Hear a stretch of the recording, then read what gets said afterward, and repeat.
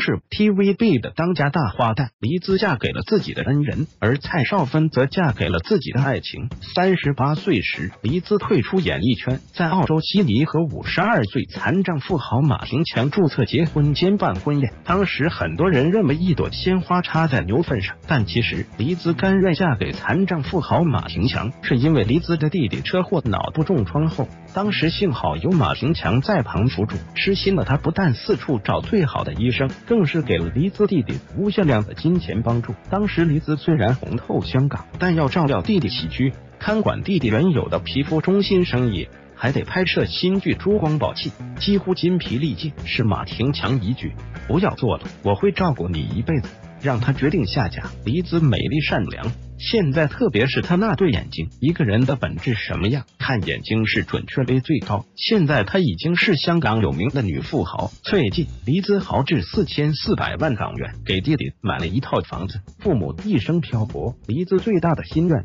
是弟弟能过得好。重视亲情的他。现在总算苦尽甘来。前一阵，韩磊在朋友家里聚会唱歌的视频在网上曝光，大批网友围观并调侃：“现场的朋友，演唱会门票补一下。”韩磊在朋友家里聚会唱歌的视频在网上曝光，现场版无伴奏都能唱出录音棚的效果，大家纷纷好奇这是谁家的豪宅？这就是黎姿的家，这栋别墅面积很大。从图上看，装修风格是属于欧式的，家具少儿豪华大气，超大的落地窗以及高档的装饰，让他的家简洁大方又非常贵气。光是这一张餐桌就能看出，价格更是不菲。黎姿家的外景在寸土寸金的香港，这绝对是顶级的豪宅。同样是在香港，蔡少芬家明显要简单温馨。参加《不可思议的妈妈》节目时，相比较和解。胡可、蔡少芬的家是最拥挤的，两个孩子都没有自己单独的房间，而且为了节省空间，都没有单人床，只能睡上下铺。